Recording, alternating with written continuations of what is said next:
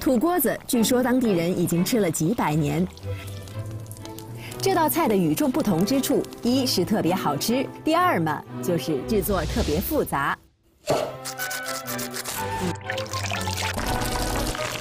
需要二十多种食材共同制作，有些食材甚至要提前一个月准备。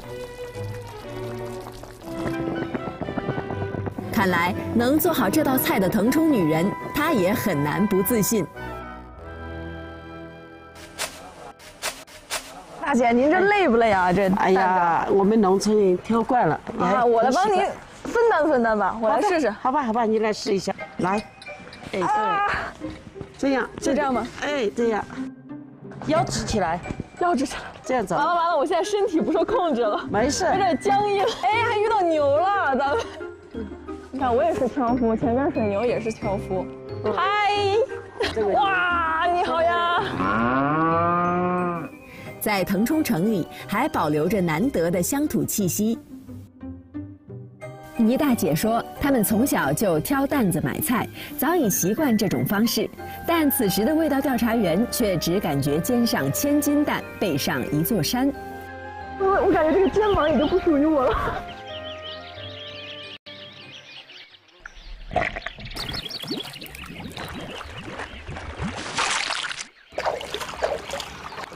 嫩的食材惹人喜爱，不过味道调查员更加好奇：这么多食材汇聚在一道菜中，到底要用什么样的烹饪方式来做这道菜呢？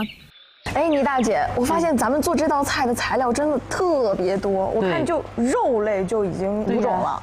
这个锅子比做一大桌子菜还要麻烦，程序还要多。虽然嘴上说着麻烦，但这道土锅子，倪大姐是专门为外地回来的女儿和外孙女制作的。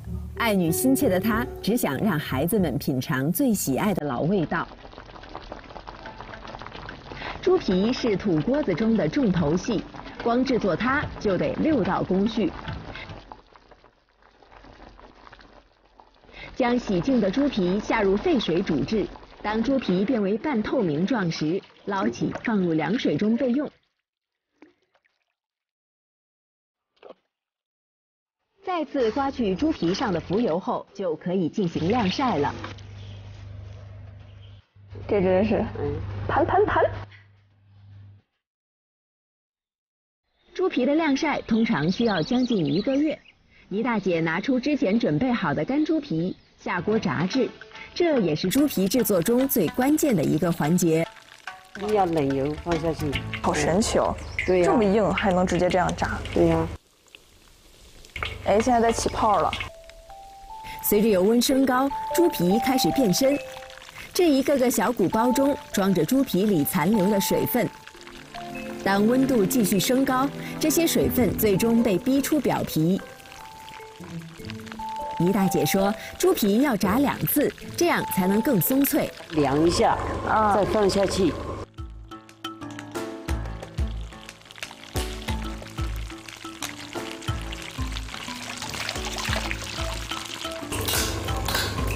现在我整个这样翻动，里边这个脆响声都是特别清晰的。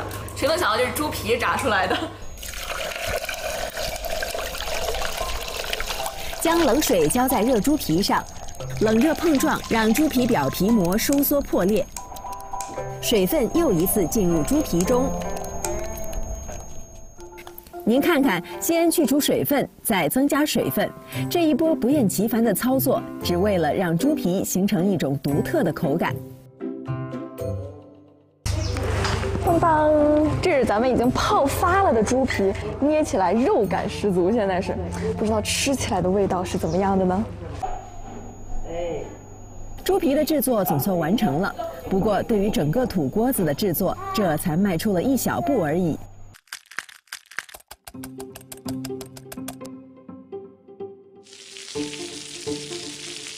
接下来，倪大姐开始做蛋皮。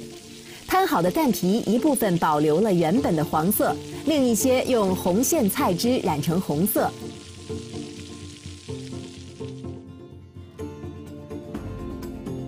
将肉馅儿均匀抹在蛋皮中，卷好后上蒸笼蒸制，这就算又完成了一步。不过，这道复杂的土锅子还得十来道工序才能完成。放入新鲜的筒骨，熬制高汤。胡萝卜、芋头切大块，黄笋干下锅煮软，再用凉水冷却，片成笋片。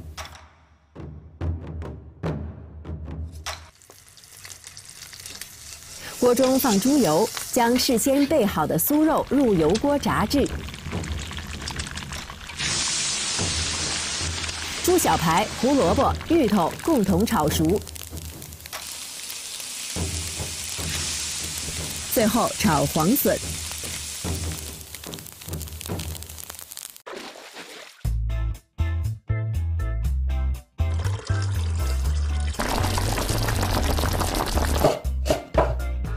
将切好的青菜下入高汤中，再加入备好的各类食材。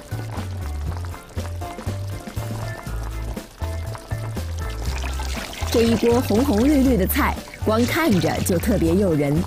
看来土锅子的制作终于快接近了尾声。这就是咱们这土锅子呀。对，要把这个放在这里面，看起来。对，把这个倒进来。哦，为什么咱们不直接在这种铁锅里边吃啊？这个味道呢，跟这个就不一样。老人以前就出的这个锅子，就要这样吃，嗯，这样吃出来它才味道才才好。土锅子是用腾冲陶土烧制而成，中间的孔洞用来加炭火，小火微炖能让汤汁进一步渗入菜品中，在吃的过程中菜品也不会冷掉，称得上是腾冲人的火锅了。倪大姐先将煮好的混合食材铺在锅中打底，然后用一层猪皮盖住了下面的菜。这样整个锅子显得整齐又美观。再放入蛋卷和肉丸，肉丸香嫩爽滑，蛋卷提供了丰富的蛋白质，而下方还有着丰盛的各种食材。我感觉吃这个锅子应该跟探秘一样，一层又一层都不一样。对，一层跟一层都不一样。最后加入蚕豆，土锅子终于大功告成。丰盛的家宴也正式开始。很好了，哇，好漂亮！来，谢谢。好。之前做的时候说做这一道菜就堪比做一整桌菜，其实吃的时候也有这种感觉，你就吃这么一碗，就感觉吃了一桌子菜的感觉。倪大姐说。过去土锅子是腾冲人家族聚会、重大节日时才享用的美食，这种场合需要一道口味老少皆宜、分量十足的压轴大菜，土锅子便成为首选。